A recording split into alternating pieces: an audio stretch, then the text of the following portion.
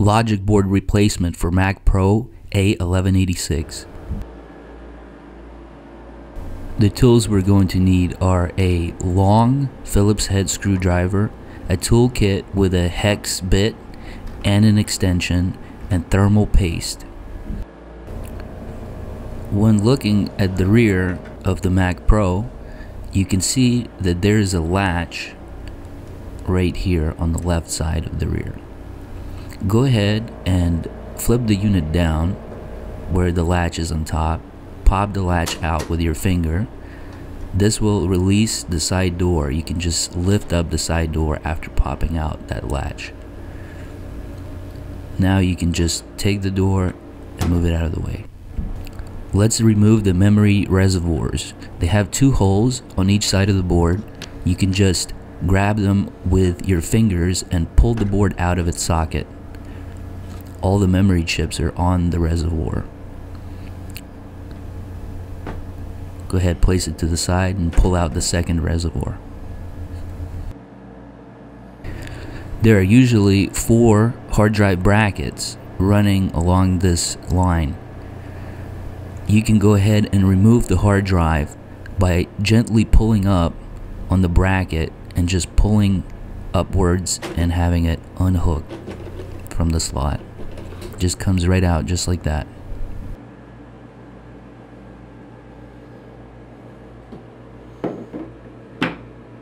To remove the graphics card or any peripherals, we'll need to uh, unwind these two screws that are securing all the cards. You can do this with your fingers, and if it's too tight, you can use a Phillips head screwdriver. Once you unscrew these two screws, you should be able to lift this bracket right up and move it out of the way. Now, you can go ahead and gently push uh, on the side of this plastic rear piece right there on that PCI Express slot uh, and you can pull out the graphics card. Be careful when you're doing this, be very gentle, use both hands. Go ahead and pull that right out. For our next step, we'll need to remove the five Phillips head screws. There's two right here on the side of the bracket. There are two Phillips head long screws on the bottom of the bracket here and then there's one Phillips head screw that's securing the fan assembly, the system fan. Let's go ahead and remove the two longer Phillips head screws with our long Phillips head screwdriver. Now with our short Phillips head screwdriver, let's remove the side screws.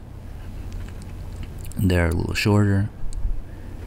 And now let's remove that one Phillips head screw securing the fan. With the four screws removed, you can see now when I squeeze down, I can actually uh, move it and there's some playroom.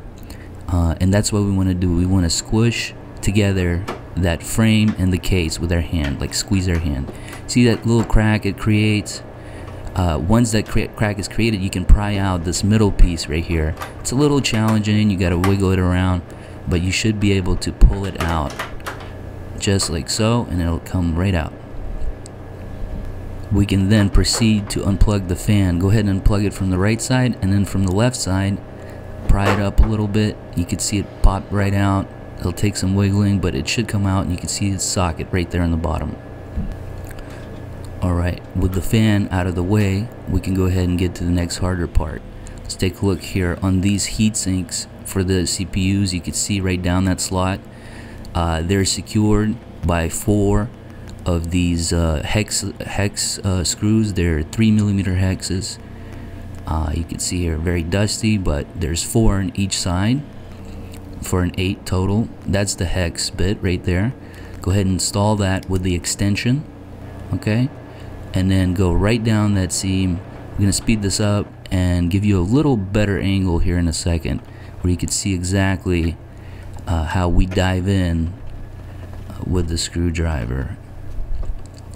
Here, take a look here. See the screwdriver goes right down, uh, right down along the heatsink, and then we unscrew it, and the screw kind of stays in place. We just loosen it up. We do that to all eight screws.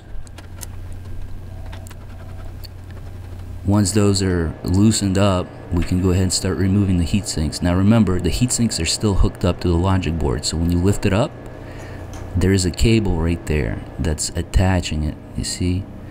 Uh, go ahead and gently disconnect that.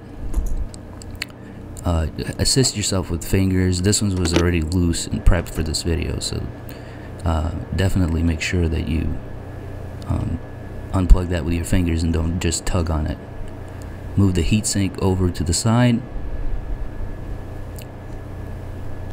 Now the second one also very tricky. This one is connected to the logic board with a connection behind that bracket. Let's see if we can get a little better look here. Um, with the bracket out of the way you can see it's hooked up right there on the side and you want to gently unhook that and then move that to the side as well so this bracket here that we had dangling around this entire time is actually a system fan. So go ahead and unplug that as well and uh, move that out of the way. It's part of the cooling system.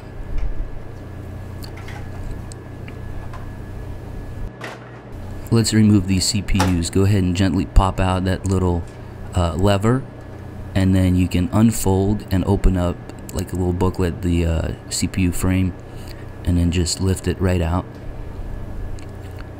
Make sure not to put it down on its uh, connectors. And the second one same thing unhook the latch flip open the little booklet remove the CPU if you haven't done so already let's go ahead and remove all of the peripheral cards. Um, if you have any and just unplug those go ahead and remove the little spacer brackets too that close up the uh, unused slots. We'll need to remove the system speaker. It's secured with three Phillips head screws as you can see here one on the bottom, one in that middle, and one in the top. They're the only screws there so go ahead and pull that speaker out of the way and unhook it from the logic board.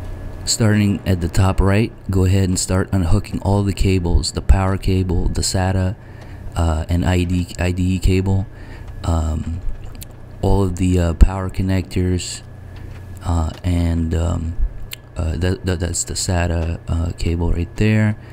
Uh, just basically every single connection that you see going to the logic board, the heat sensors, uh, to the hard drives, optical drive, the Bluetooth antenna, Wi-Fi antenna on the bottom right corner there.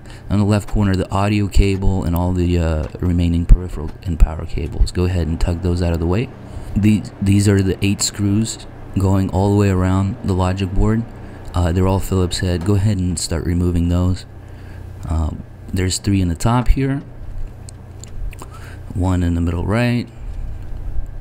Three on the bottom and one in the middle left. With those eight screws removed, the logic board should be free. Uh, you can go ahead and start lifting it up. The SATA cable might be blocking you from lifting up the logic board, so you might want to go ahead and fully disconnect that SATA cable and get it out of the way so that it's not blocking the logic board from coming out. Uh, with that removed, you can just wiggle it around. Um, move the cables out of the way, push it over a slight little bit to the right, and then tilt it, and then it should come right out just like that. And here it is. Logic board reassembly for Mac Pro A1186. Gently place the board into the following orientation. Make sure you're not blocking off any of the connections, especially the uh, Bluetooth and Wi-Fi antenna cables, some of the cables up top here.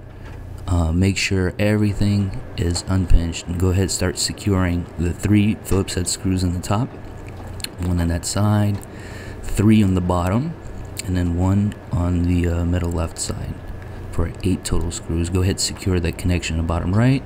Now the left, uh, the audio cable, the peripheral cables, now the power, the IDE cable, the SATA cable, the sensors, uh, that entire right corner. Go ahead, reconnect the um, Bluetooth and the Wi-Fi antenna cables.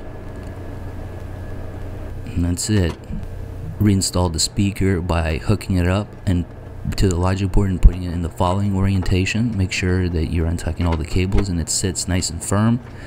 Align its holes and secure it with the three Phillips head screws that we removed earlier. Um, the CPU should always be cleaned. You can do this with a cotton cloth or even a paper towel and just gently wipe off all of the residual, um, uh, if there is any, all of the residual uh, thermal paste. The same exact thing on the heatsink. Make sure it's nice and uh, clean and has a nice and firm surface so that when it touches the CPU, they can make a uh, full um, um, firm connection.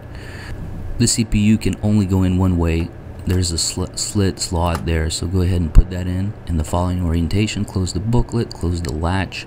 Same thing for the second CPU.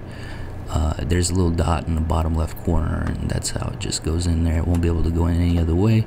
Make sure it's latched and locked in. Let's go ahead and place back the following um, uh, fan first. Go ahead and hook it up to the logic board. Make sure it's connected first. Uh, and just set it uh, on the side there. Just uh, do not screw it in yet. Apply the thermal paste on top of the CPUs, making five dots and creating like a little box.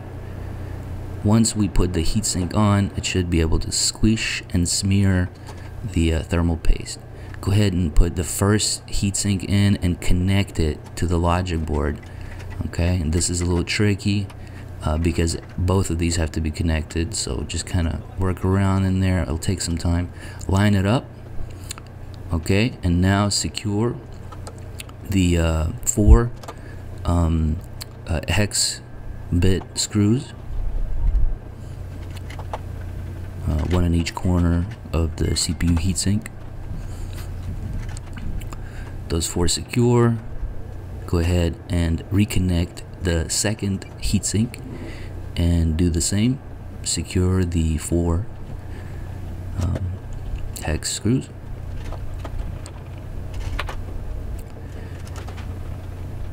Now with those secure go ahead and attach that little piece first.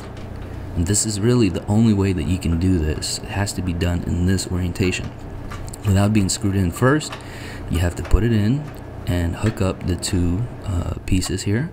Now you have to place the fan and make sure you realize it slides in on the left side. And then now you kind of work them all together and interconnect them. Go ahead and secure that Phillips head screw on the fan. Now you can secure the two long Phillips head screws on the bottom of that piece. And now you can secure the two small Phillips head screws um, on the side insert the graphics card into the PCI Express slot. Go ahead and push that in make sure it's nice and locked. Go ahead and put back any of the peripherals. Click those in the spacers make sure everything is aligned and nothing's sticking out or and then place back that bracket that secures uh, everything from uh, coming out secure it with the two uh, knob screws. The hard drive uh, slides right in on the metallic rails so go ahead and push that in, make sure it's firmly clicked in all the way. The memory reservoirs slide right back into their slots. Uh, you can do the left or the right. Uh, I'm doing the left one here first. And then the right one.